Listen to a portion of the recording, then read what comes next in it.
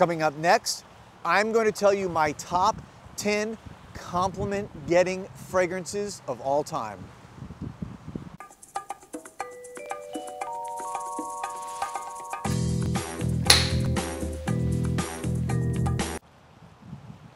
Welcome back everybody to Joel the Nose. And I just did a video basically talking about flankers and my favorite flankers. And there's a twist to that video and there's a twist to this video too. I'm on Key Biscayne. This is an island just off the coast of downtown Miami. Beautiful, beautiful area. That's looking back to downtown Miami. Actually, not downtown, that's Coconut Grove. Downtown is over that way. That is the mainland, and that's Coconut Grove neighborhood.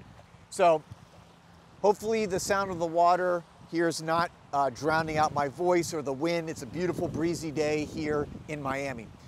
All right, I'm gonna get right into this. Top 10 compliment getting fragrances. And I have to say that no, this is not clickbait, but I'm not giving you my list.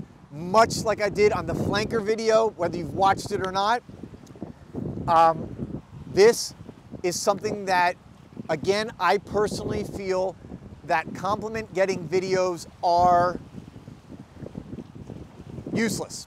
I think that most reviewers do them because, and I'm not going to say anything wrong about reviewers who do a lot of compliment uh, videos, but because they do well. If you check the analytics, you see people watch a lot of those videos. So I'm not going to criticize any reviewer who does them. But for me, I don't think you'll ever really see going forward one of those type of videos for me. I can't remember the last time I did one. You'd have to go back and look over the last year and a half. I'm sure I've done one before, but I don't even remember. I don't like these videos.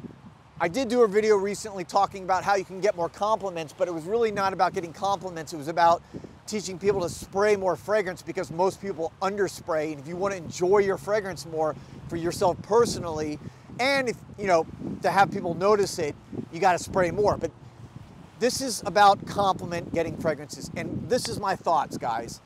Fragrance for me is an art form that's for me. I wear fragrance because I love fragrance. I wear fragrance because some fragrances give me confidence. Some give me energy. Some lift my mood. Some make me more serious. Some are good for the office. Some are good for working out. Some are good for dates, first impressions. But these are things that they how they make me feel. And yes, of course, I want to smell good, right? Especially for let's say my girlfriend or if you're married, your wife or husband, boyfriend, whatever it may be.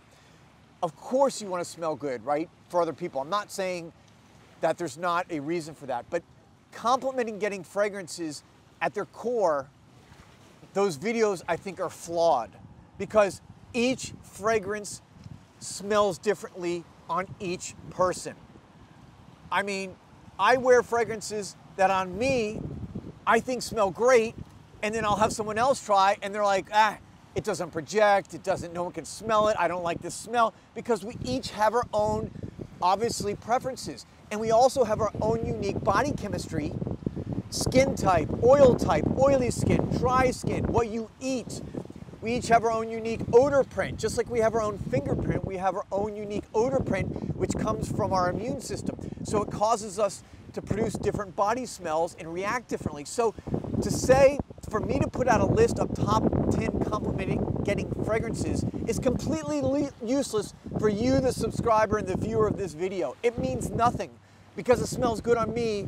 There's literally no correlation or evidence or anything that it will smell good for you. Okay? What's more important is what are your compliment getting fragrances? I want to hear those because that's what works for you. You know your body, you know your smell, you know your fragrances. They work for you. So for me to say, hey, this is, you know, got me 10 compliments today, or, you know, that, okay, yes, I, the video maybe has meaning from the standpoint of saying, hey, this is what works for me, okay? But please, please, when you watch those videos, take them with a grain of salt and do not go out and buy them because you think they're gonna get you compliments. In the end, again, I think fragrance is worn for yourself, for your own pleasure, for your own enjoyment. And if someone else likes it, that's a side benefit, right? That's just like a kind of extra thing to throw in there. But to choose your fragrances based on hoping that someone else is going to say something to you, I, I don't know. I, I, think there's just something wrong with that. I, I think there's a fundamental flaw in looking to fragrance to try to get acceptance or, or compliments. I, I, again, that's just me personally.